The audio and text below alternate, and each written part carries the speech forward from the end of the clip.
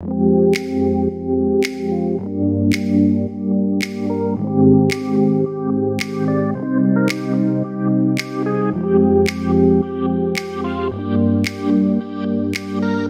aí pessoal, tudo bem?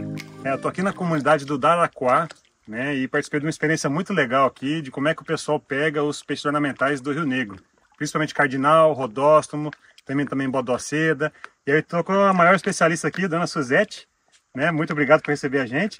Você pode falar pessoal é, qual que é qual é a forma que vocês coletam os peixes? Quais são os, os principais jeitos? A gente coleta o peixe com isso, com cacuri, com rapiché, né? O cacuri a gente põe o cacuri pra conforme a correnteza, a gente põe o cacuri. Onde tiver o peixe, a gente põe o cacuri, ajeita bem o cacuri. Aí depois pega uma, uma isca, né? Se quiser meter no pauzinho médio, senão só pôr aqui dentro. Põe aqui dentro. Aí pega um pauzinho que é pra pôr aqui na boca, né? Que é pro ca- poder o cardinal entrar.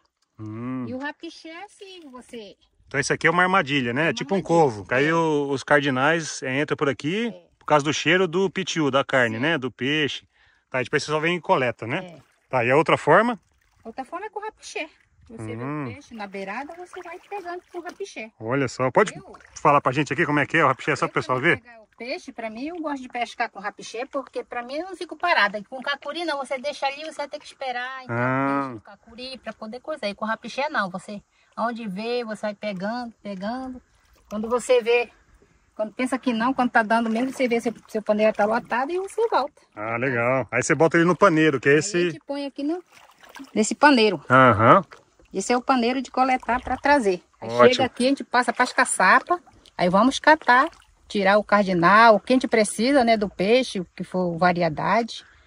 Aí separa tudinho, cada caçapa. Ó, legal. Vamos pensar que o peixe ornamental é pescar, dizer assim, for pescar, já botaram na caçapa, já acabou o trabalho. Não. Chega em casa, tem mais trabalho ainda. Tem que trocar Tem que água. trocar água, é tudo isso. Muito bom. Isso é a pescaria do.